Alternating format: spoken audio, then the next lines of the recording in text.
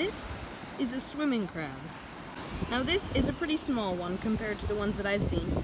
Now swimming crabs get their names by their back feet that, ha that have these circular swimming feet that they use to swim around obviously. And they have these nice big claws.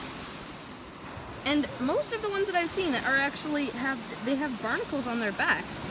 So these barnacles will cement themselves onto the crab's back and they will stay there for forever. They can't move after they've cemented themselves to a rock or a crab's back.